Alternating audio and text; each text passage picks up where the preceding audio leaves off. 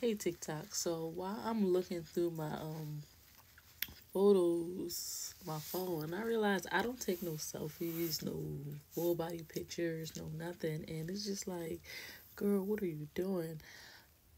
First of all, um, I didn't take any full body pictures because like I gained a lot of weight over the years. Not a lot, but you know, after you have kids, like you don't go straight back to normal. And then sometimes when you're stressed, depressed, you tend to do shit that you're not supposed to be doing. So I tend to eat and like snack on shit that I shouldn't be, which that has changed since the last time my third giving birth to my third child. Like I don't snack as much as I did when I had my other two children. And like um I think breastfeeding really helped me out because like when I breastfeed, like if I'm at work and I'm pumping, like that's my only time I can really eat is when I'm pumping at work. And like once I start pumping, I get this funny feeling in my stomach where I just get turned off of eating. So it's just like I can like buy a full lunch or like pack a full lunch and like only eat not even half of my lunch because like I don't know just like I get this nasty taste in my mouth when I start pumping. I don't know if that's just me or is it like I don't know. But that's how I've been losing weight as well. And I don't snack as much because when I do eat, when I do eat, like eat because I want it, not because I like need it. After I eat, I get this like my stomach starts to hurt. I'm uh, thinking to myself like, why did I eat that? I did not have to eat that.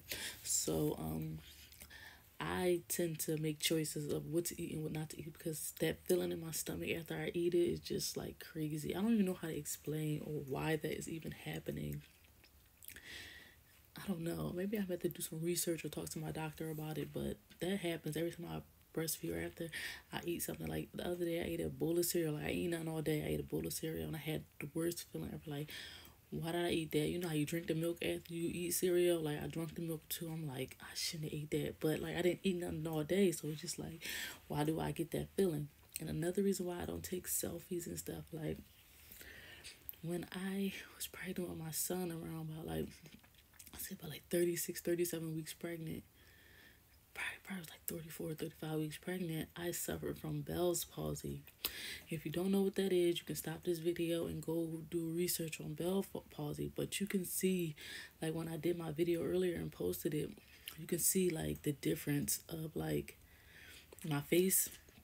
One side of my face is droopier than the other one. So it's just like I tend not to take selfies or anything because I notice it and it looks like I'm already suffering from a lazy eye. So imagine having a lazy eye and Bell's palsy all in the same. Like, I'm not gonna say I feel uncomfortable, but I don't feel like myself. And um, I'm not the type to wear makeup to like.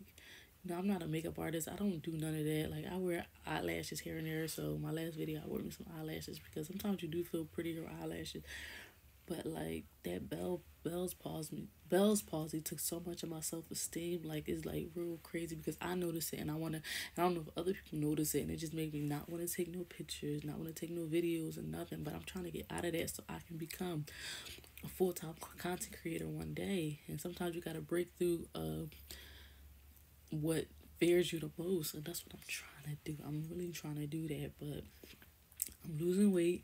That's one part. Like I lost 20 pounds of my original weight before I, I uh, was pregnant with my third child. And like I'm trying to get into the camera. Like I'm not finna go learn how to do a full face of makeup, which I need to learn how because I would love to do a full face of makeup.